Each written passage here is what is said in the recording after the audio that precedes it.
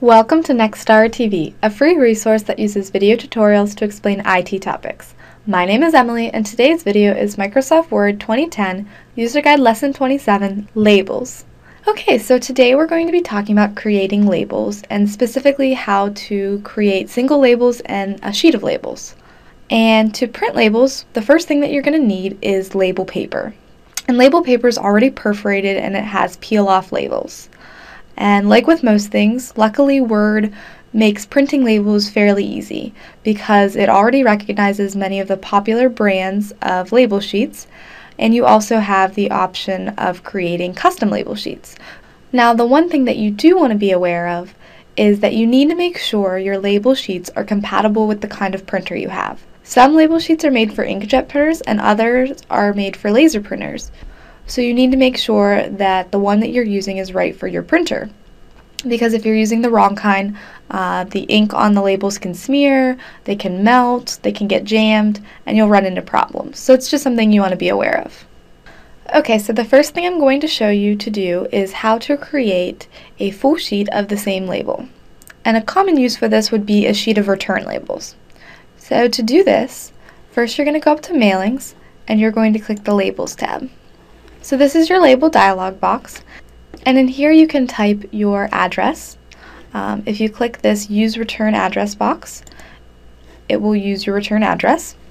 Or you also have the option of using an address from your address box. Or if you don't want to use an address, uh, you also have the option of writing a message in your label.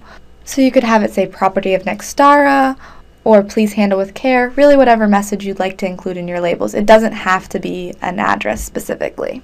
In the print section, you'll choose full page of the same label.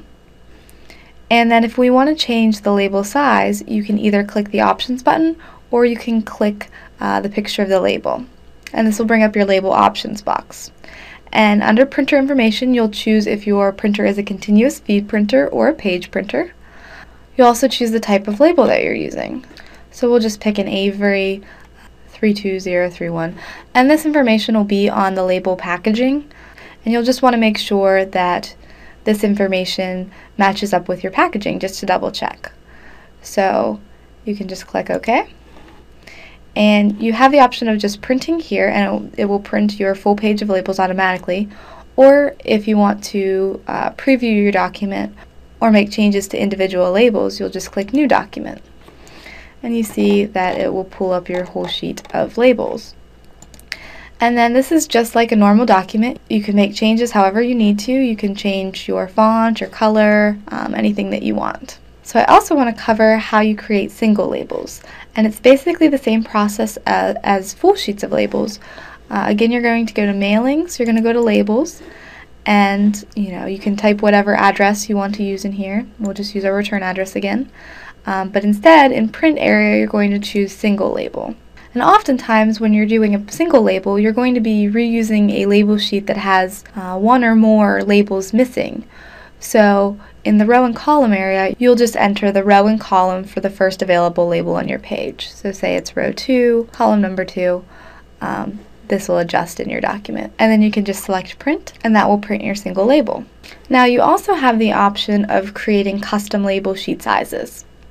And to do this, uh, you'll go to options and why you would use this feature is if you're using a generic label that isn't listed in our label vendors or product number.